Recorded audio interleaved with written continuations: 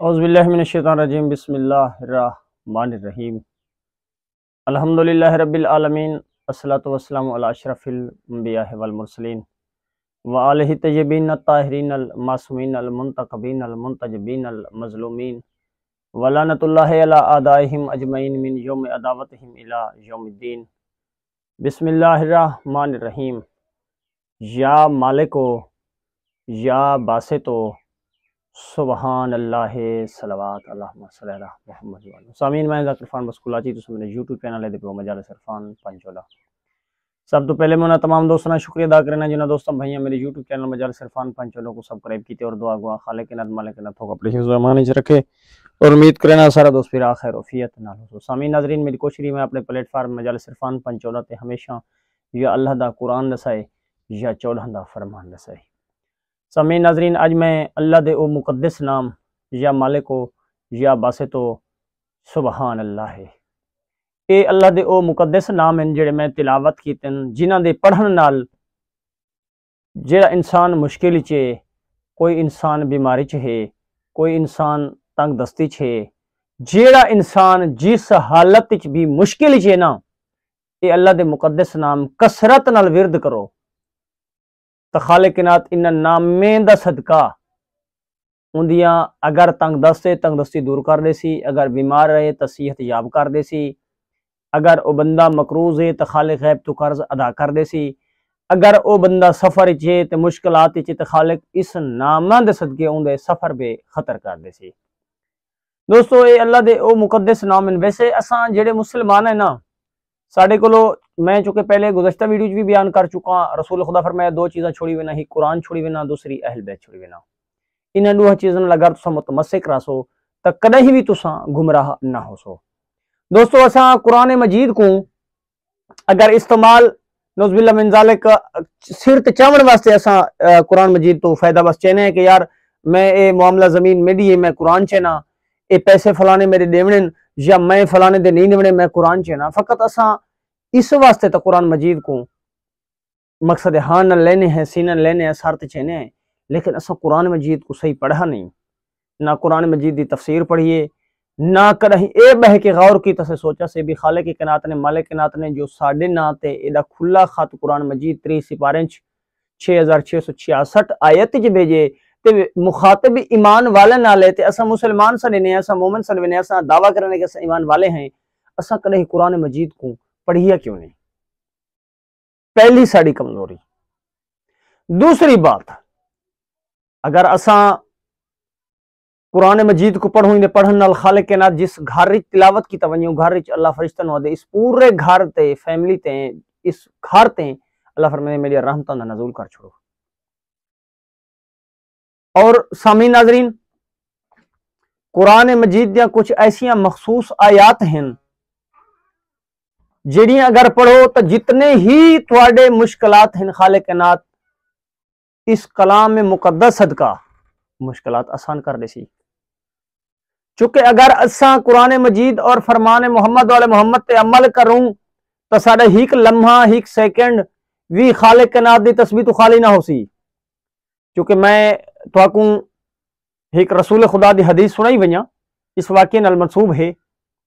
وہ ایک ایک رسول خدا نے ایک دفعہ اپنی صحابہ نو دسا کہ میرے صحابیو، اگر تسا باوضو ہو کے ایک دفعہ سورت اخلاص، ایک دفعہ ایت الکرسی ترائے دفعہ سورت اخلاص پڑھ کے ایک دفعہ سورت فاتح پڑھ گر تسا سم گئے وے، تو خالق کے نات، مالک کے نات تو تھوڑے نام عمال پوری رات دی عبادت لکھ دے سی۔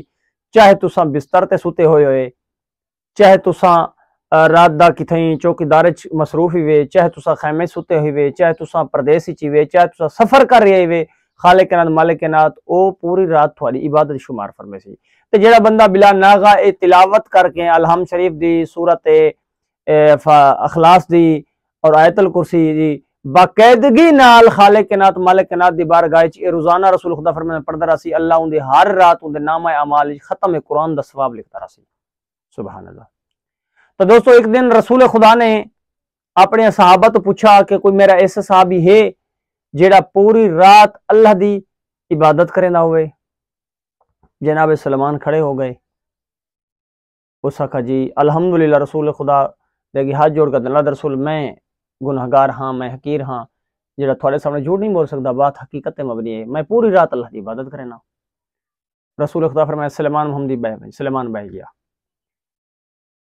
دو چار دن بعد پھر رسول خدا نے پوچھا کہ میرے صحابیو، میں تو اتنا بڑا عمل دسا ہے کہ جرا بندہ پوری رات عبادت کرنا چاہتے وہ ایک کام کرے۔ ایت الکرسی، سورت فاتحہ اور سورت اخلاص ترائے دفعہ تلاوت کرے۔ اللہ اندے نام اعمال او پوری رات اللہ عبادت شمار لکھ سی۔ تو تسا کہیں میرے صحابی عبادت کیتی ہے؟ تو سامین ناظرین، پھر جناب سلمان اٹھی کھڑے۔